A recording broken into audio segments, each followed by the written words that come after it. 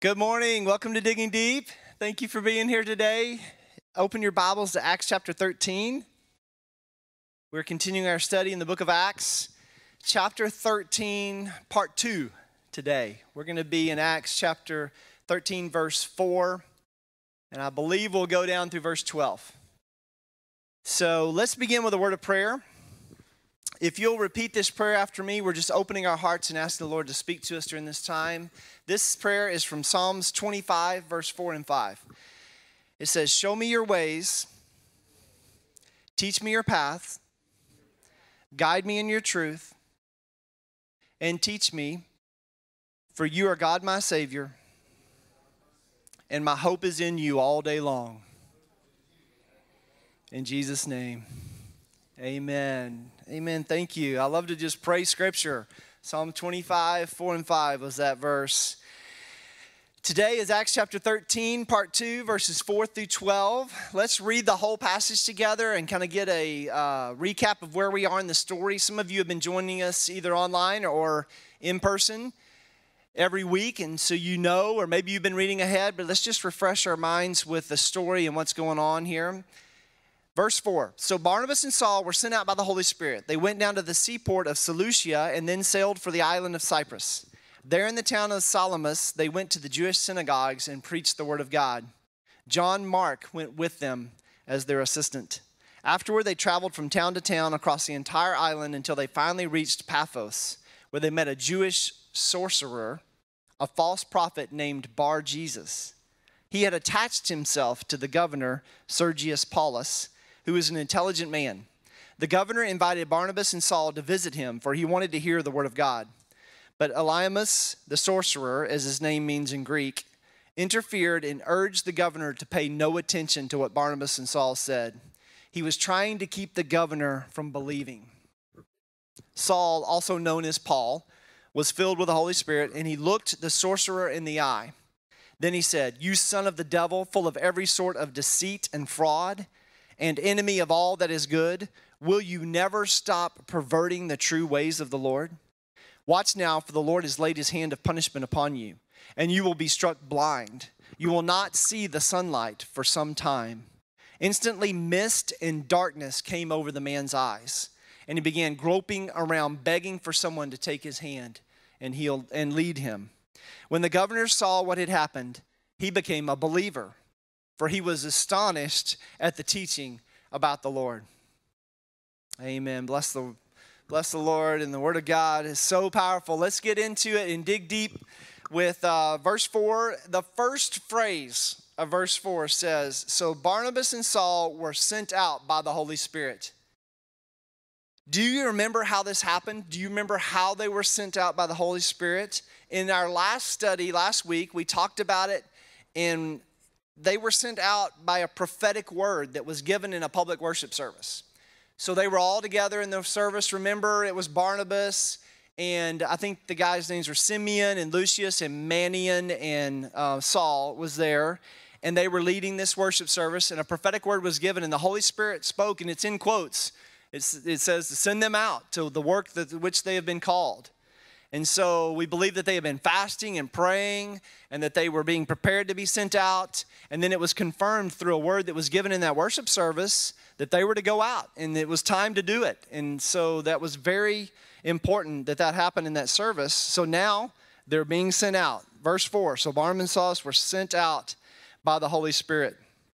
Remember when we studied this, we also brought up 1 Corinthians chapter 14, verse 3, that says a prophetic word is given for strengthening, encouraging, and comfort. 1 Corinthians 14 3. If you haven't been with us in the study, look that up. That's what a prophetic word is given for encouragement, strengthening, and comfort. And so this was one of those times when it was given to confirm and encourage. And I believe that it was important that it was done there in the assembly of them together. I think that one of the purposes, oh, oh, let me say this too. I almost skipped over this. This is important. I think this is important why it's important for us to assemble together and be together. And sometimes this is good to assemble even in a small group. because then you can share encouragement with one another and you can comfort one another.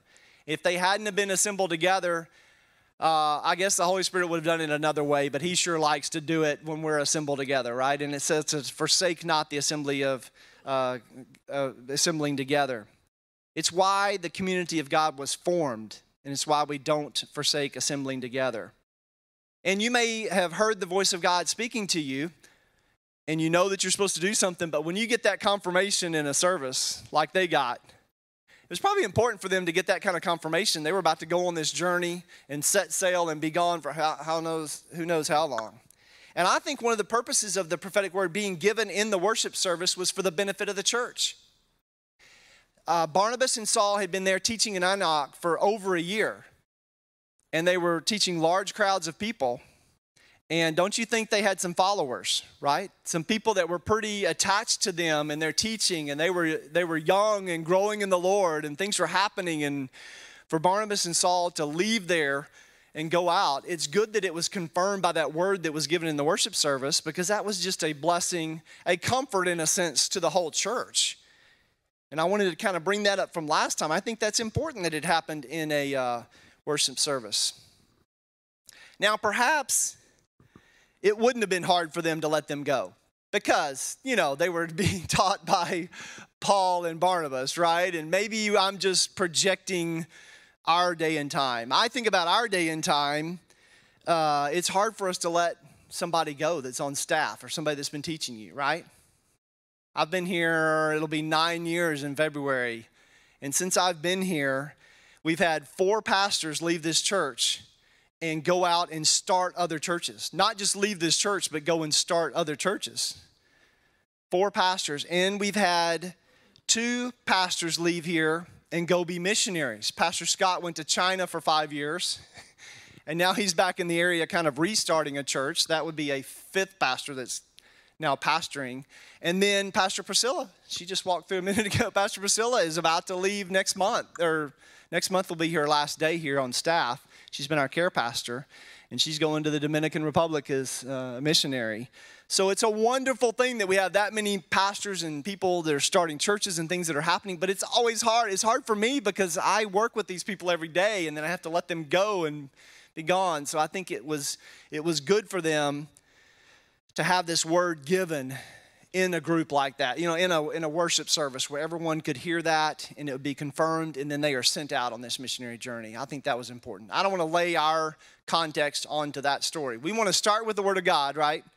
And do good interpretation of the Word, you know, start with what was said originally and then apply it to us, not apply our situation back onto them. But I would think it would have been helpful for me if I was sitting there and they're about to be gone, that it was that prophetic word was uh, given are y'all tracking with me on that? It's making sense. Okay.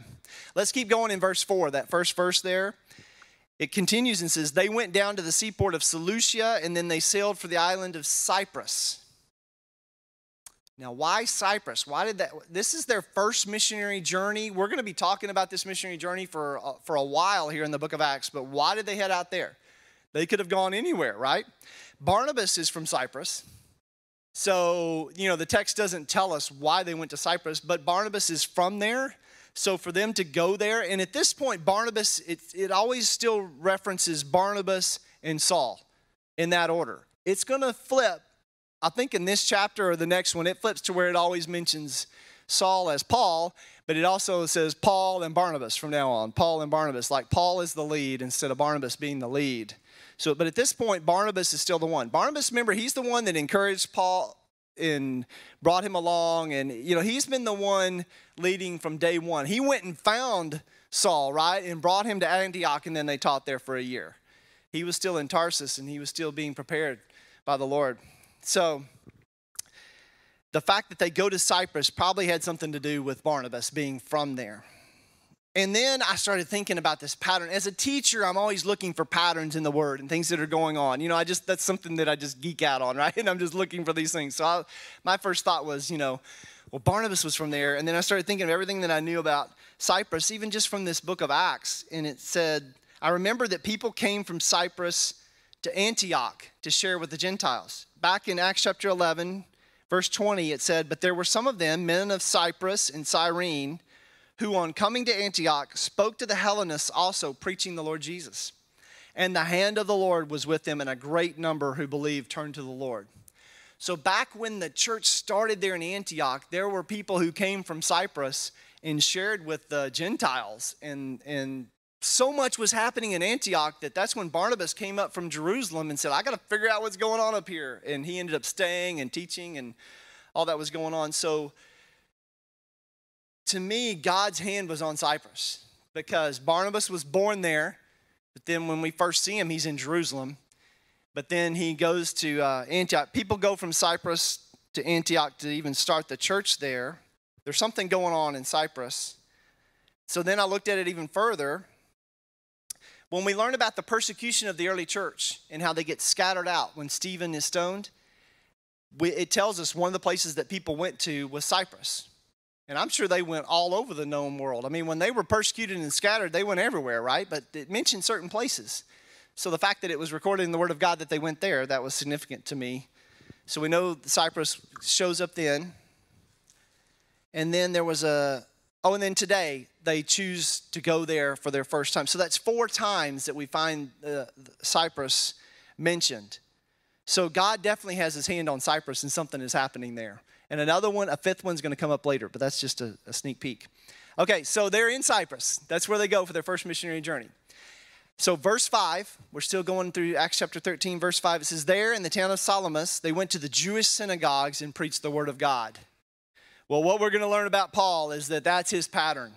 Over and over again, this is what he does. He goes to the Jewish synagogue first, it's to the Jew first, and then to the Greek, right? He writes about that in uh, the book of Romans. He says it's to the Jew first. Romans 1:16. He says, and this is right, Romans chapter 1, it's right at the beginning of his book of Romans. You know, when he's still like establishing everything and laying out his, uh, his uh, book, he says, I am not ashamed of the gospel, for it is the power of God for salvation to everyone who believes, to the Jew first, and also to the Greek. So Paul writes that later, much later on in the book of Romans. And it's his pattern. We're going to see it over and over again. As we follow his missionary journeys, we're going to see that he goes to the Jewish synagogue first and shares with the Jews. And hopefully, some of them uh, convert. Do you know that Christianity's always been Jewish? You know, Jesus was a Jew. It started with the Jews, right? So, and there's always been a remnant. There's always been a remnant of Jews that have carried on through. It's not like they're just now coming back. I mean, we're seeing a great harvest right now, people coming back to the Lord.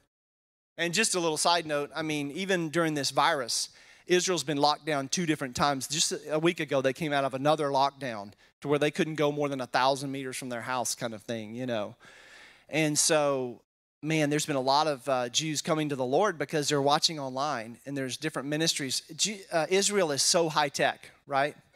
It's like another Silicon Valley over there. It's the startup nation. I mean, they they are so high tech in Israel. You think they're in the desert, and there's, I mean, if you've ever been there, you know, it's like super first world, high tech. And a lot of people are watching these uh, videos and these testimonies um, and uh, coming to the Lord. And we're in the last days, and the Jewish people are coming. They're coming in. There's a harvest, and they're coming. So it's just exciting to me that that's happening here in these last days. But how did I get off? Oh, I got off on that because salvation it started with the Jews, and um, so okay, I wrote a few things down here. Um, this is just it, it is kind of a soapbox for me here so i gotta like you know i want to read what i wrote down yesterday. It says i said salvation started with the jews. Christianity is jewish. Jesus is jewish. All the original apostles are jewish.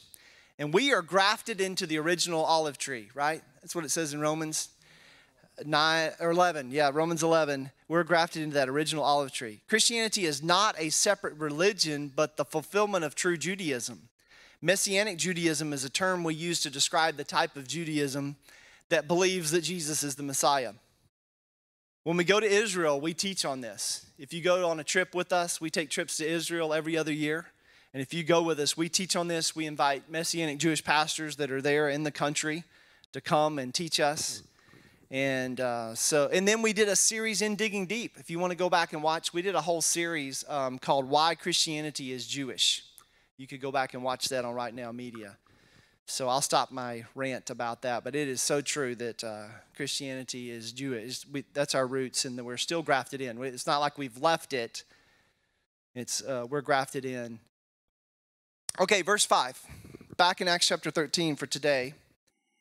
To conclude verse 5, it says, John Mark went with them as their assistant. In your English translation, it may just say John, right? But uh, I think it's helpful when they put John Mark in there because that's uh, that's who it was was John Mark, and it's not John the Baptist, it's not John the Apostle, it's John Mark that was with them. Now, but who is John Mark? We've heard about him several times, even in this book already. We've heard about him. He's Barnabas's cousin. That's right. We heard about him maybe first in the Garden of Gethsemane on the night Jesus is arrested, and they come in the night, and he's in the garden praying, right? And he gets arrested uh, there's this young man mentioned in the book of Mark, in the Gospel of Mark. There's this young man, he's not named, but we believe it's the author of the book. It's Mark himself, and that's why he doesn't name himself. But he's following Jesus on that night that he's arrested, and he's following the mob that had taken him away. And but it's like he uh, he was awakened in the night that this was going on, and he went down and started following him. But he was only wearing a uh, just a robe. That's it like a linen robe. And the mob tried to snatch him, and they just got his, his robe, and he escapes naked, it says in Mark 14 51 and 52. So it says that, oh, I didn't write out all the verse, but it, it, you could read it in Mark 14 51 and 52. It says, In that passage, a young man was roused from his sleep on the night that Jesus was arrested. He attempts to follow the Lord, and the mob who had Jesus in custody attempts to seize him. The young man escapes and flees into the night. The fact that this incident is only recorded in Mark's gospel and the fact that the young man is anonymous has led some scholars to surmise that the fleeing young man is actually John Mark himself. And he puts himself in his, in his own story there in the gospel. But then we've heard of John Mark also because remember when um, Peter gets rescued by the angel and rescued from prison? And he goes out, and all of a sudden he realizes this isn't a dream, and he goes to John Mark's mom's house there in Jerusalem. So we hear about John Mark there. And then here in this story, he travels with Barnabas and Saul. Later on, John Mark travels with Barnabas only and not Saul.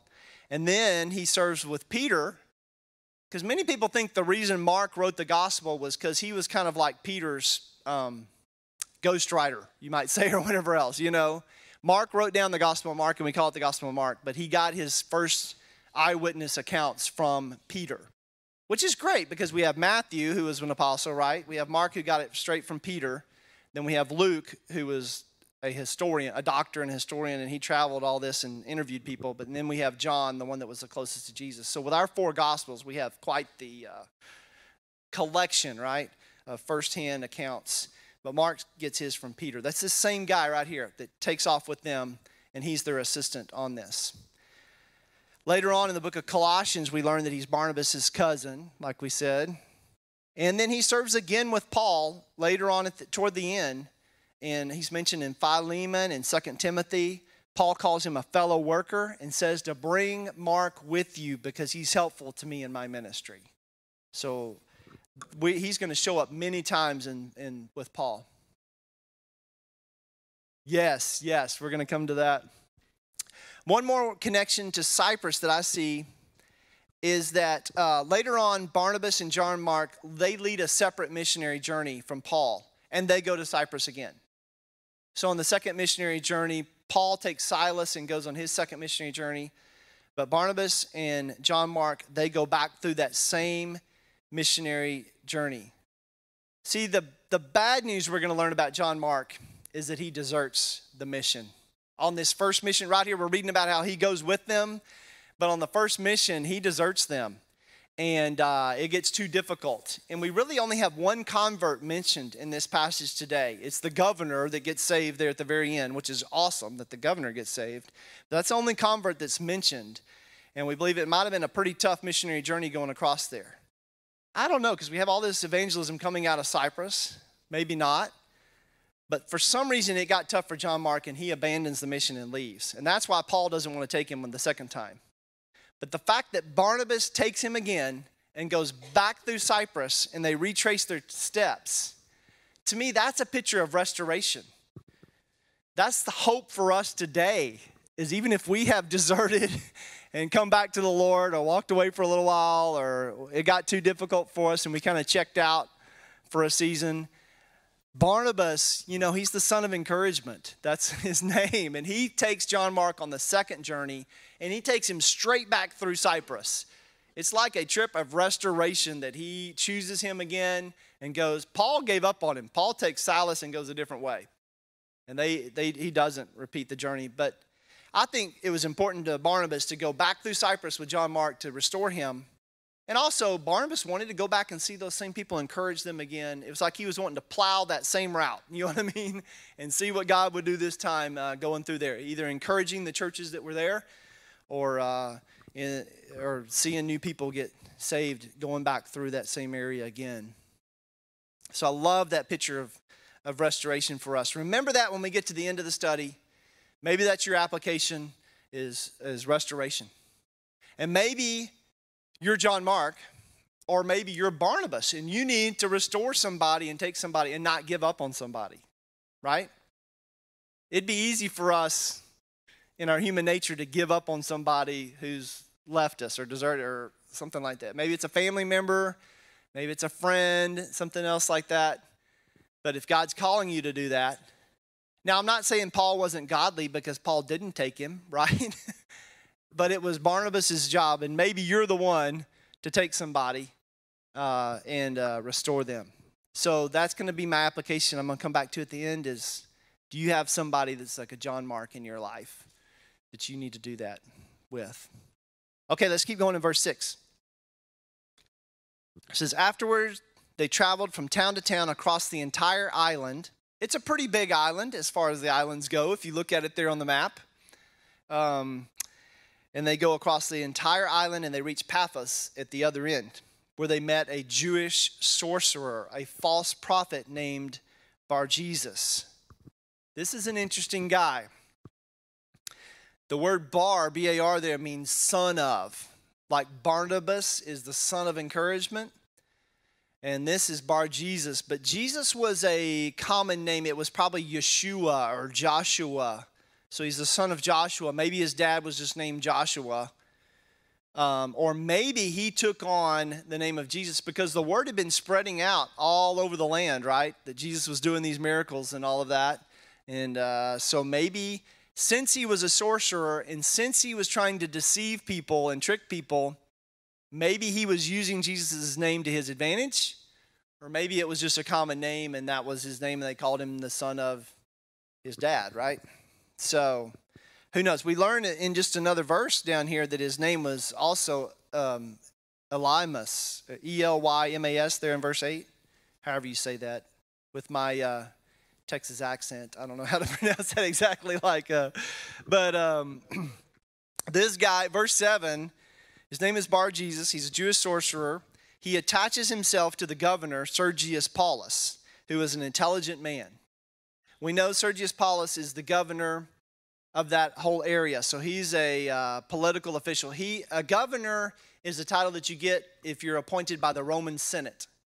So he was appointed by the Senate, not by the emperor, but by the Senate. But he was the leader of that uh, district, that area. So he's the governor. He's an intelligent man. For some reason, the Word of God included that in there. I think that's uh, interesting. That's going to kind of come up in a minute. Um, the governor invited Barnabas and Saul to visit him, for he wanted to hear the Word of God. He was an intelligent man. He was curious, right? He wanted to know about this. I think intelligent people are, are curious, right? He's got this intellectual curiosity. He wants to hear about this. He's been hearing about Jesus. He's been hearing about these guys. They've been coming across the island. He's in charge of the whole thing, right? things are happening, he wants to know and hear it for himself. He's open. That's good. He's a seeker, right? And uh, that's that pays off for him. Verse 8 Baliamus the sorcerer, as his name means in Greek, he interferes and urges the governor to pay no attention to what Barnabas and Saul said. He was trying to keep the governor from believing. The word picture I have is like he's, he's trying to hold his hands over the governor's ears and keep the governor from hearing. He's attached himself to him. So he's like stuck, stuck to him in trying to do this. One of our applications is Do you have anybody like that in your life? Do you have anybody in your life who's trying to keep you from believing? We think just students have that, right? They have friends in school and high school, or they fall into peer pressure, or they get around the wrong crowd, or they're young adult and they're in the party scene or something, and they've got people holding their hands over their ears. And that's true. There's a lot of that going on. Maybe you have somebody in your life like that, or maybe that's you. But we may forget that we may uh, we may even have that in our life, even even at work. You may have a, a coworker who's been through a divorce and they tell you it's okay to be divorced, you know, just get out of there. They're just speaking, they're speaking in your ear the whole time to get divorced, get divorced, get divorced, right? And uh, you're trying to believe God to restore your marriage and they're speaking in your ear something else. That's like an uh, right? That's somebody attached trying to hold their hands over your ears. It's one thing to, it's one thing to, for yourself, resist the word of God and not receive it it's one thing, I have freedom of choice, right? I can choose to not believe the word of God for myself. But to do that to somebody else and to keep them from hearing, that's a lot more serious that happens here. That's why this guy gets such a chastisement, right? What does Paul tell him? He has some harsh words for him, right? Okay, so let's pick up in verse 9. It says, Saul, also known as Paul, this is where his name changes. And it, we believe it's because it's not like you may think his name change has to do with like when when Jesus changed Peter's name, it was for a specific purpose, and he said, you know, I'm going to build the church through you and all this kind of stuff. And things happen in the Bible where people's names were changed, but really his uh, Hebrew name is Saul, and his Greek name is Paul. And he just starts going by the Greek name because he's uh, doing this missionary journey to the Greeks. And so uh, it's just, and it, and it shows his Roman citizenship as well, which could be important if he's going into new towns for them to know that he's a Roman citizen. And he's about to speak to the Roman governor in this thing, so he becomes Paul. But what happens, this is a shift right here in verse 9, that through the rest of the book of Acts, he's called Paul. He's never called Saul again. It's the same guy, but he's always called Paul, and through the rest of the New Testament, he's Paul. So that happens right here. He, he's known as Paul. Verse 9 continues, it says, was filled with the Holy Spirit. That one phrase, was filled with the Holy Spirit. In our English translation, was filled, I don't know what yours says, but it sounds past tense to us. But it was not past tense in the Greek, it was present tense, like when you study the original Greek, it was like instantly right then he's filled with the Spirit. It was a present action that happened upon him right then. So, you know, he, he received the Holy Spirit at salvation. Um, he prayed with other people to receive the Holy Spirit, but the Spirit came upon him right here. He's filled again. We can be filled with the Holy Spirit for a certain activity that God calls us to do, right? We want to be filled with the Spirit every day and walk in the Spirit and not quench the Spirit, right? But this is a moment, and He does, and I think it's important that we know that He's filled with the Spirit when He does this rebuke right here, because this is a pretty harsh rebuke right here. You see what it says? It says, And He looked the sorcerer in the eye, and He said, You son of the devil full of every sort of deceit and fraud, and enemy of all that is good, will you never stop perverting the true ways of the Lord? He has some harsh words for this guy. It's because he's keeping somebody else from hearing the word of God. And that's such a serious deal. And he's keeping the governor, and the governor can lead the whole island into the truth, right? If he if he starts following the Lord, what a difference that would make. And so, this boldness that comes upon him when he's filled with the Holy Spirit is pretty powerful. And he calls him the son of the devil. He, his name is Bar Jesus, and that's kind of his uh, slogan, or his, maybe that was his Instagram name or something. You know, I don't know. His, his name was Elymas, you know, but he was also called Bar Jesus, the son of Jesus, maybe because he was trying to do magic and sorcery, and he was trying to wow people, and he knew the name Jesus was associated with miracles, so he called himself the Son of Jesus. But he calls him the son of the devil. It's like he takes that wordplay and flips it on him. You know what I mean? He calls him, You're actually the son of the devil because you're keeping other people. And he keeps going. He says, You're full of every sort of deceit. And you know what the root word of deceit is in the Greek is the word bait. When the devil deceives us, he gives us bait, right? He throws that bait out there and he hooks us with it and deceives us into thinking something that's not true. The bait of Satan is taking up an offense. We get offended, we get our feelings hurt. Happens in the church all the time, right? We throw our sucker in the dirt and get offended and walk away, you know. It's because we're deceived, and that's what the devil does. That's what this guy was trying to do to the governor. But Paul says, You're full of every sort of deceit and fraud, and enemy of all that is good. Will you never stop perverting the true ways of the Lord? He really comes down on him hard. Oh, but now look what happens in verse, 9, verse 11. It's not just words, there's some action that follows this up, right? It says, Watch now. That's interesting. What, the word watch, he's about to go blind and he says, Watch. watch now, for the Lord has laid his hand of punishment upon you and you will be struck blind. You will not see the sunlight for some time. Isn't that bold of Paul? He's full of the Holy Spirit and he speaks that out before it happens. He believed this was going to happen and it happened. He wasn't doubting that this guy was going to go blind. I mean, he spoke this blindness over him. We think of uh, miracles only being positive and supernatural things happening only being positive. I mean, most of the time when we see that, we've even taught that in here how um, healing has a connection with evangelism so many times when the apostles would go around healing people. They heal that uh, beggar by the gate going into the temple, right? They heal him. He gets up, jumps around, praising God everywhere. All the people see this is the beggar, and he's gotten saved. The healing leads to evangelism, and all these people getting saved. But this time, the miracle that happens here is he's struck blind and he speaks that to him and he goes blind. And it says, instantly, verse 11, it says, instantly mist and darkness came over the man's eyes and he began groping around, begging for someone to take him by his hand and lead him. I mean, I bet everybody backed away from this guy if he was struck blind right away, right?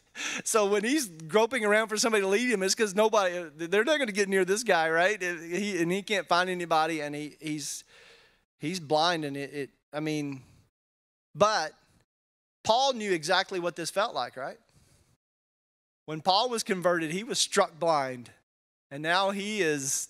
God's using him to strike somebody else blind. That's interesting to me that it's the same the same uh, action that happens here.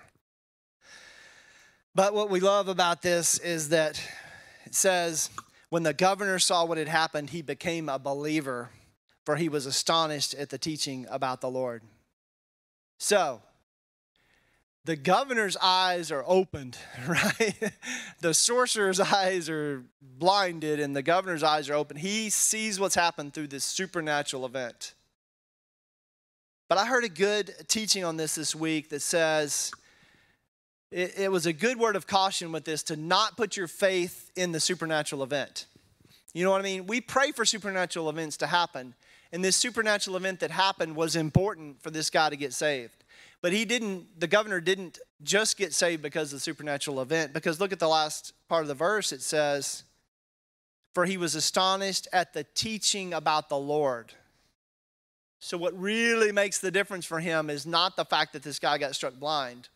Because if you put your faith totally in the supernatural event, then a supernatural event could um, persuade you away from it, also, right?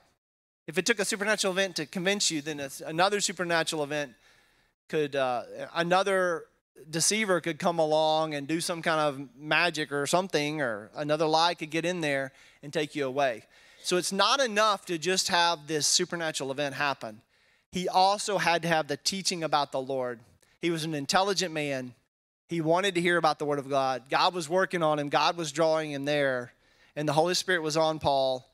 This supernatural event happened that confirmed it, I guess you could say, but really what kept him solid in this and we hope he stayed with the Lord was because he understood the teaching about the Lord. And Paul, I'm sure, was teaching him about the Lord, right? He didn't just, I'm sure, Paul was very wordy, right? And Paul was, uh, you know, he wrote a lot, he taught a lot, he would preach way into the night, you know, and uh, so I'm sure that he had taught a lot to the uh, governor, and that's why also that he did. So we don't put our faith just in the uh, supernatural events. Now, it's not wrong to pray for a supernatural event to happen. I've done that. I've prayed for, if you're praying for somebody who's lost, and I hope you're praying for lost people in your life. Maybe that's your application today is to start praying for lost people again in your life, right? For coworkers or people you know or family member. Have you given up on that family? Don't give up on that family member that doesn't know the Lord yet. That cousin or that uncle or whoever it is, you know, don't give up on them. Keep praying for them to come to know the Lord. And you can pray for a supernatural event to come into their life. You know, I've prayed before, whatever it takes to get their attention. Their eternity is a lot more important than their present day happiness this week or whatever. You know what I mean? We prayed for one guy and he got arrested the next day, taken to jail. but we believed that was God working. We were excited that he went to jail for drunk driving, but we are like, get that guy off the roads for whatever and, and uh, arrest him spiritually, you know what I mean? And convert him. Maybe that's what it takes for him to uh, come to faith in God. So pray, we pray for supernatural things. We need to be bold like that. Uh, we see this happening. I've even been to a seminar, I don't know, years ago, I went to a seminar on power evangelism. It was like a missions class kind of thing. And it talks about in other countries sometimes when they have, I mean, this would be like a, uh, in another country in Africa or somewhere where they still have like witch doctors and things like that. And um, you can see power evangelism happen in those places where there's demonic activity and God's coming into that area, and, it, and there's a power thing that happens. And um, I, could tell you a couple stories about that. My dad and I went to Africa on a mission trip like 25 years ago, probably, and um, we saw some demonic activity and some power evangelism where people were converted through supernatural events. I mean, think about Elijah and the prophets of Baal. That was a supernatural event that happened, and, uh, and God's power was displayed through that. But then what happens right after Elijah there?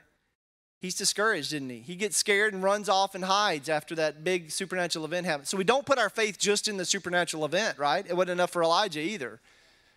But we put our our faith in the teaching of the Lord and in our, you know, our relationship with the Lord. This, this governor becomes a believer because he was astonished at the teaching about the Lord. That's what did it.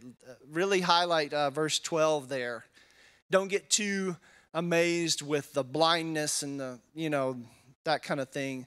I think the, the, the more important thing is that this guy comes to faith in Christ because uh, he's astonished at the teaching of the Lord, and that's what we uh, we need to have. We don't just go in and do power evangelism and leave the people with nothing to uh, how to handle it. Right? That would be wrong. If the house is, if you cast out the strong man and the house is left clean and vacant, then uh, the enemy can come in seven times more. Right? That's in Luke. We, you can read about that. That's extra.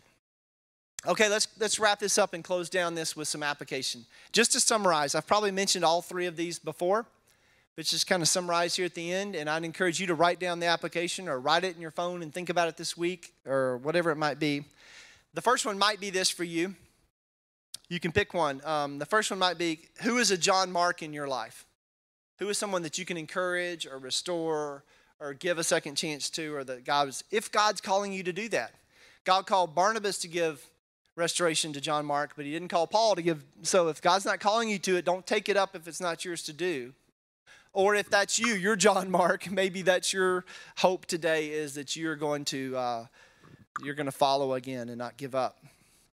The second application is there is there an Elymas? Is there a sorcerer in your life that has attached themselves to you and quote is trying to keep you from believing God? Close quote. Is there someone who's attached themselves like that? Or you've attached yourself to them because they've deceived you and kind of drawn you in? Maybe it's a girlfriend, boyfriend, maybe it's a coworker, maybe it's a friend that is always encouraging you to go the wrong way. Don't let that person be in your life. You need to. Paul dealt with this harshly when he was filled with the Holy Spirit and cut it cut it out of that guy's life. uh, you need to see that. You need to have the miracle of sight happen for you that you see that you've got this person in your life, right? And uh, get them out of your life. If you need help with that, uh, get help from somebody else to uh, help you break free from that. Number three, do you have a word from God? They had a word from God to go on this trip, but also remember the original word that Paul had. Remember when Paul was still blind and Ananias comes to him. Ananias had to be convinced to go to him, right? Because this guy was killing Christians and arresting them and dragging them out of their homes. So, what God said to Ananias was, He said, I'm quoting Acts 9 15. But the Lord said to Ananias, Go, for Saul is my chosen instrument to take my message to Gentiles and to kings as well as to the people of Israel. Well, that's what he's doing on this first missionary trip, right? This is probably 17 years later, maybe 17 to 20 years later, and he is taking off on this missionary journey. And this word of the Lord is being fulfill, fulfilled in his life. That gives me goosebumps to think about it. You know, the word of the Lord is, this is exactly what is happening. He's chosen to take my message to the Gentiles and to kings. So when Paul was there in front of the governor, was he intimidated because he was the governor? We might be intimidated if we were in front of the governor or the president or the whoever like that, right? Because of their power and their influence and whatever else. He was bold and called this guy out and struck this guy blind. He taught, you know, he was ready because this was the word. He knew from the beginning that this was what he was going to be doing one day. And he's fulfilling it and he hung on to that word. So maybe your application is what is a word God has given you? Did he give you a word 17 years ago or three years ago or last week, did he give you a word that he is still accomplishing and wants to accomplish in your life? Maybe it's to go into the ministry. Maybe it's to write a book. Maybe it's who knows what. Maybe it's a certain type of ministry. I don't know what the word is for you. It will be unique. God loves you like that and wants to give you, or if you don't have a word like that, go to our prophetic prayer ministry on Monday nights, right? And God may speak a word through that group that's trained to do that or get in a small group, get around some other believers, ask the Lord for a word. He wants to give us words because the prophetic word, remember 1 Corinthians 14 3, it's for strengthening, encouragement, and comfort. It's only to build us up and help us. It's, it, it's not a, a prophetic word is not like striking somebody with blindness. That's, that's a rebuke. You know, a prophetic word is something that we hang on to. Like, and Paul had this word so he was bold to stand before the governor and share, and even take on the sorcerer because he had a word from the Lord that had been confirmed. So, do you have a word to hold on to? What is your application today? Let's close in prayer. Heavenly Father, we thank you. We just open our hearts and minds to what you would want to speak into us right now. I pray that you would give us a word that you want to fulfill in our lives, and that you would give us a calling, that you would give us a, your purpose that you would restore us and put us back on the path to follow you. Open our eyes to see. I pray for anyone that's watching this that has a deceiver in their life that's holding their ears shut. I pray that you would release them and they would receive your freedom. And instead, you would send a Barnabas into their life, you'd send a Paul into their life to show them the ways and to teach them the ways of the Lord. I pray that over each person in Jesus' name, amen.